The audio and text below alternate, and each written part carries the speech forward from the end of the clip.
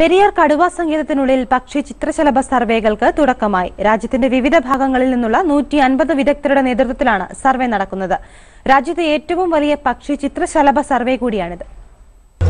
തൊള്ളായിരത്തി ഇരുപത്തിയഞ്ച് ചതുരശ്ര കിലോമീറ്റർ ചുറ്റളവുള്ള പെരിയാർ കടുവ സങ്കേതത്തെ ഇരുപത്തിനാല് ബ്ലോക്കുകളാക്കി തിരിച്ചാണ് സർവേ പുരോഗമിക്കുന്നത്. വനവകുപ്പ് ഉദ്യോഗസ്ഥർക്കും പക്ഷി നിരീക്ഷകർക്കും പുറമെ Travancore natural history society Kottayam natural society അംഗങ്ങളും സർവേയിൽ പങ്കെടുക്കുന്നുണ്ട്. രണ്ടായിരത്തി രണ്ടിലാണ് ഇതിനു മുമ്പ് സങ്കേതത്തിൽ പക്ഷി സർവേ നടന്നിട്ടുള്ളത്.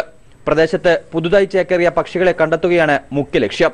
വംശനാശ ഭീഷണി നേരിടുന്ന പക്ഷികളെക്കുറിച്ചും ഇതിന് കാരണമായ കാലാവസ്ഥ വ്യതിയാനം ഉൾപ്പെടെയുള്ള വിഷയങ്ങളും പഠനവിധേയമാക്കും.